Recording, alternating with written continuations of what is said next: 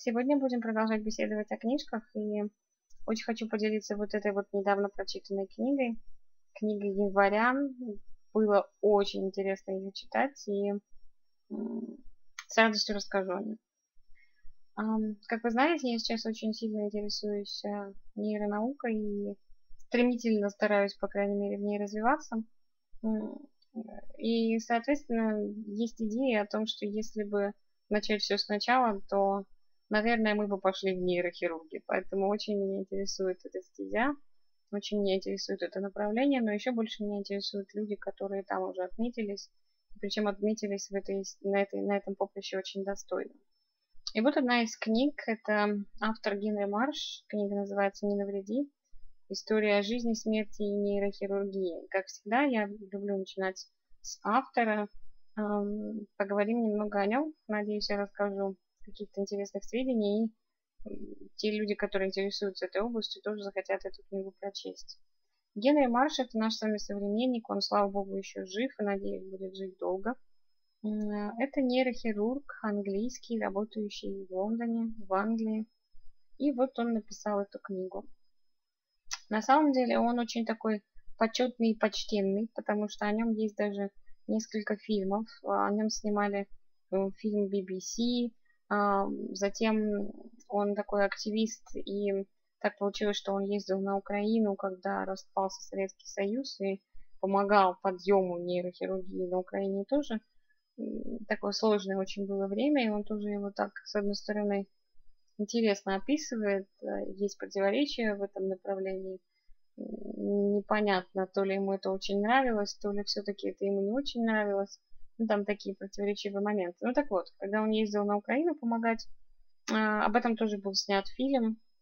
Вы можете легко найти его на YouTube.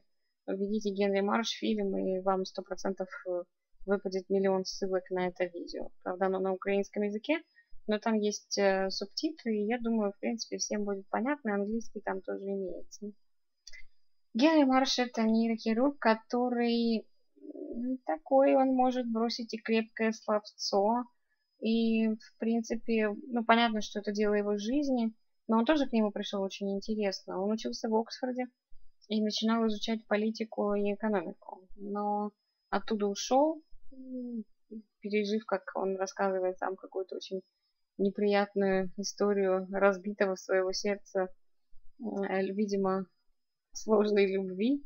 Он оттуда ушел, и потом он уехал в Африку, помогал там, работал а, каким-то там низшим, да, низшим звеном в медицине, а, даже не знаю, как это назвать там на наш язык, помогал, помогал передвигать пациентов, помогал докторам, видел много крови и всего тому подобного. И, в общем, приехав, он решил стать доктором. Поступил в другой университет, учился там, ну и нейрохирургом он как раз-таки решил стать далеко не сразу.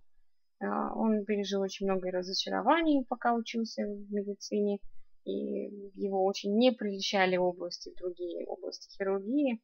Но потом вот в одно прекрасное мгновение он увидел магическую операцию по устранению аневризмы аорты в мозге, и вот захватила его медицина. Именно нейро хирургия.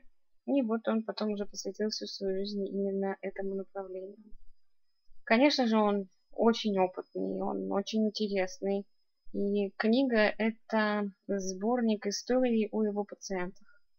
В этой книге он рассказывает о том, как он боролся за некоторых, эм, как он выработал свое отношение к пациентам, каким оно должно быть, по его мнению – также книга, конечно же, рассказывает и о том, как доктора относятся к себе и к своим, грубо говоря, болячкам, как они не ассоциируют себя как потенциальных пациентов, и им кажется, что они никогда не, не попадут в руки своих собратьев, и если это случается, то не дай боже в той же клинике, где они работают.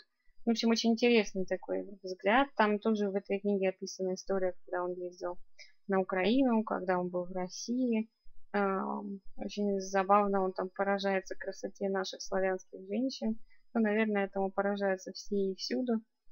Первое говорит, что, бросилось ему в глаза, когда он приехал в Россию, это а, изобилие красивых людей, да, ходящих, а, прогуливающихся по Красной площади. Ну, гордость наша, нашей женщины. Вот, он также там поднимает вопросы смерти, обреченности, своего отношения к тем, кого он не сможет спасти. И а, красной нитью сквозь все это полотно проступает вопрос о том, когда нужно остановиться. То есть а, у Генри Марша была на Украине одна девочка, а, которой он очень проникся и прооперировал ее все-таки.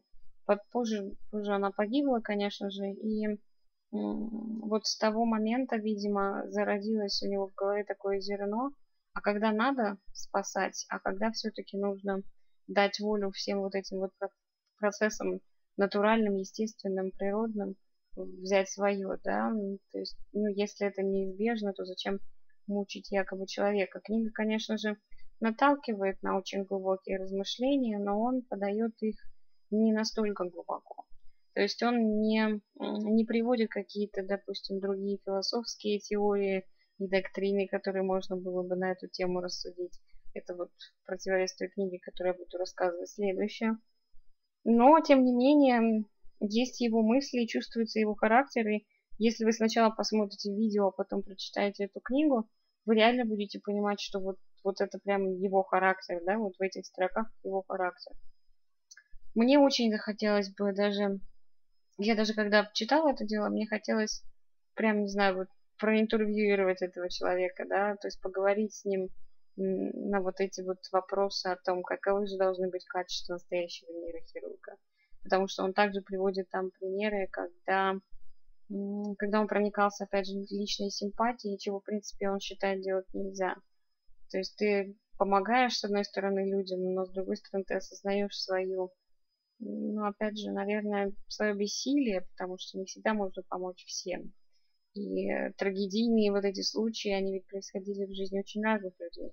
Нейронаука, вообще нейрохирургия, она ведь работает не только с пожилыми людьми, а, да, ведь очень часто случаются опухоли, различные поражения у очень молодых людей. И вот он там приводит примеры, когда в его практике был молодой, преуспевающий, очень спортивный, атлетичный, симпатичный молодой человек, и вот он приводит там описание своей последней встречи с ним. То есть он его несколько раз оперировал, но потом он вернулся с рецидивом. И когда они прощались, он прекрасно понимал, что это последняя встреча. В общем, книга очень интересная тем, кто заинтересован именно медицинскими историями.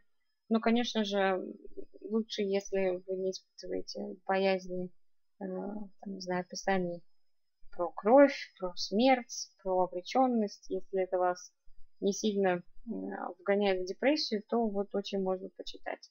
Но опять же, всегда-всегда рекомендую начать изучение книги с автора, посмотрите с ним видюшки, представляете, какие мы счастливые, что мы живем с этими великими людьми в одно время, и мы можем их посмотреть. Они, они есть на видео, это очень классно. Потому что очень многих авторов мы читаем и восхищаемся, но у нас нет возможности их увидеть. А ведь видя человека мы да, рисуем о нем такую более широкую картинку, что ли. Поэтому этой книжке однозначно зачет. Очень интересно. Побольше бы таких книг и побольше бы нас, читающих такие книги. В общем, книга это бестселлер, переведена на много-много-много языков. Наш современник. Очень рекомендую. Но у нас продолжается обзор книжечек. На связи.